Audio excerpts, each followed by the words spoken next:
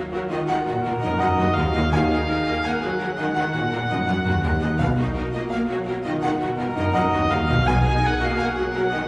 Salutations YouTube, j'espère que vous allez bien. Aujourd'hui on se retrouve pour une nouvelle vidéo.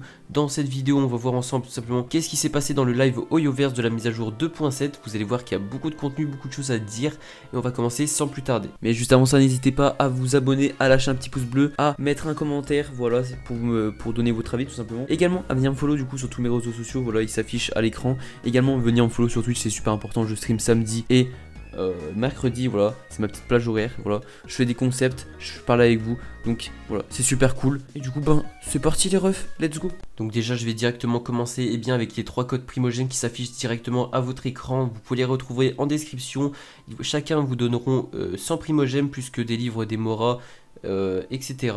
Donc n'hésitez pas à les prendre, il faut les utiliser avant ce soir, donc si vous le regardez la vidéo demain, le code eh bien n'existera plus normalement. Donc faites vite, je compte sur vous.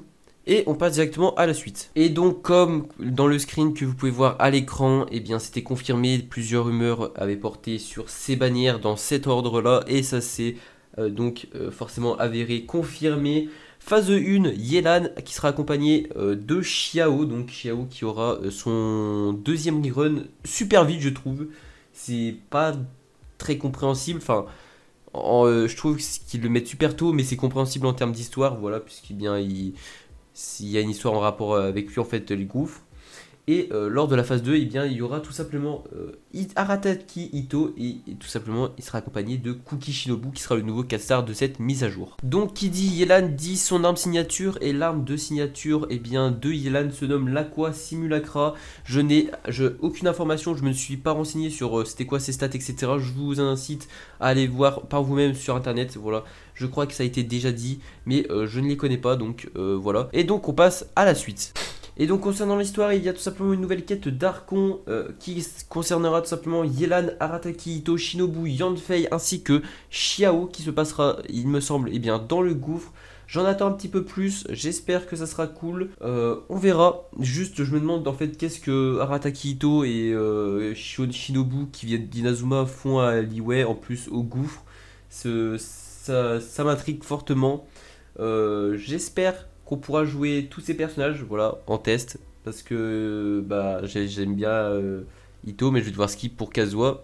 Parce que comme j'ai dit dans ma dernière vidéo, il est très fort probable que Kazuha soit confirmé eh bien, pour la 2.8. Et comme je l'ai dit précédemment et vous avez pu le voir, eh bien, il n'était pas là dans euh, les bannières de la mise à jour 2.7. D'ailleurs, j'ai oublié de préciser, mais forcément, qui dit nouveau personnage dit nouvelle quête d'histoire le concernant. Il y en a une euh, en concernant Yelan, euh, on verra bien ce que ça donne aussi. Forcément, lors de celle-ci, vous pourrez eh bien, tout simplement essayer Yelan, ce qui vous donnera un petit avis. D'ailleurs, il y aura forcément le euh, trial qui vous permettra de en forger votre avis concernant le personnage euh, de Yelan, si oui ou non finalement il faut l'invoquer ou alors peut-être que vous ne vouliez pas l'invoquer et du coup le fait de la jouer et de l'avoir en fait entre ses mains eh ben vous donne le déclic et eh bien tout simplement pour l'invoquer ça sera le, le, moment idéal en fait pour vous et eh bien de savoir s'il vous faut Yelan ou non. Donc désormais parlons des events, il y en a eh bien plusieurs. L'event principal va vous offrir eh bien un arc 4 étoiles qui se nomme le Fading Twilight. Donc c'est un arc, on ne connaît pas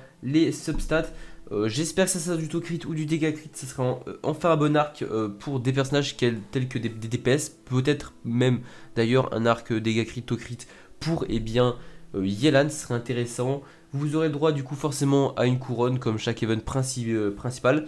Beaucoup de primogèmes, euh, des euh, minerais de renforcement, des livres d'XP, des moras, des livres d'aptitude, tout plein de choses qui vous permettront eh bien, de gagner pas mal de récompenses.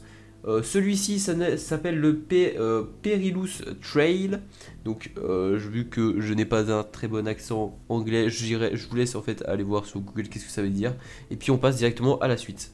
À l'écran, je vous affiche directement d'autres eh bien, events. Il y a un event concernant le gouffre où il me semble qu'il va falloir purifier eh bien, euh, la boue encore une fois. Un autre event avec cette fois-ci de la musique, donc vous allez gagner un nouvel instrument. Il semble ici que c'est un peu une espèce de tambour ou je sais pas quoi.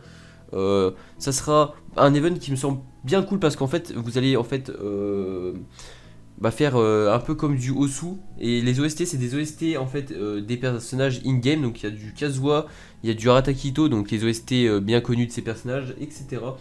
Il est vachement cool, je trouve. plus qu'à voir ce que ça pourra donner. c'est pas le meilleur, clairement mais c'est pas le pire non plus. Euh, pour les fans de eh bien, instruments, c'est vraiment quelque chose de cool pour eux. Ça permettra au bout d'un moment que 4 personnes avec un instrument différent euh, pourront faire une musique, euh, une collab de musique. Ça peut être intéressant. Ma foi, je trouve pas ça non plus ouf, mais bon. Si certains s'intéressent, eh bien voilà, vous aurez un nouvel instrument lors de la mise à jour 2.7. Également en parlant eh bien, de musique et des fans d'OST, un nouvel album va sortir lors de cette mise à jour. Eh bien c'est un album qui se nomme le Millelite Watch. J'espère qu'il sera cool. Donc c'est un OST, euh, un album d'OST en rapport avec le gouffre tout simplement. Je trouve que c'est pas quelque chose d'utile, très clairement. Moi, ça m'intéresse pas, j'en ai rien à foutre de, ça, du fait qu'ils sortent un nouvel album. Hein font bien ce qu'ils veulent, mais peut-être que ça peut en intéresser certains, donc c'est pour ça que je le cite quand même euh, dans la vidéo. Donc voilà ce qui conclut cette vidéo, pas d'annonce en rapport avec Sumeru, je pense que ça sera lors du prochain live, on verra bien de toute façon. Euh, dans l'ensemble, la mise à jour ne semble pas écourtée comme certaines rumeurs le disaient. Je le répète encore une fois, phase 1, Yelan Xiao, euh, également sorti de l'arc euh, signature du personnage de Yelan, qui est un arc qu'il me semble, je crois qu'il sera Tokrit Degekrit en tout cas. Je crois que c'est une main stat en crit. Je ne suis pas sûr, allez vous renseigner sur Google. Voilà.